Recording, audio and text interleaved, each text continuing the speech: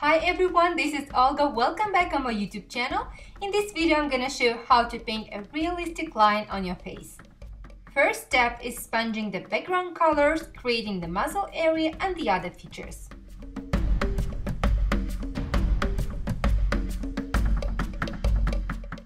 I'm using one side of the sponge to apply the paint and the other side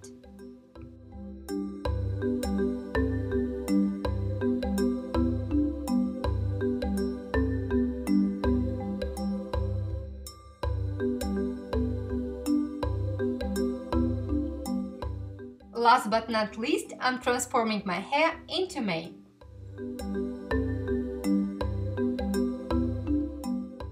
All done, I hope you enjoyed. Please give me a thumbs up if you like this video. Don't forget to check me out on Facebook and Instagram and see you soon. Bye bye.